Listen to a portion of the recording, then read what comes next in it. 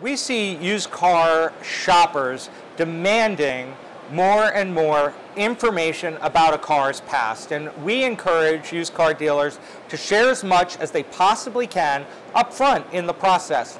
For years, we all felt that holding our cards closer to our chest might be beneficial. But in today's marketplace and you know, after millions of transactions, uh, we have seen that disclosing vehicle history information upfront in the sales process, even if a car has had prior damage, is far better than concealing it. So we encourage every used car dealer in every transaction to lay their cards on the table and show what they know about that car's past.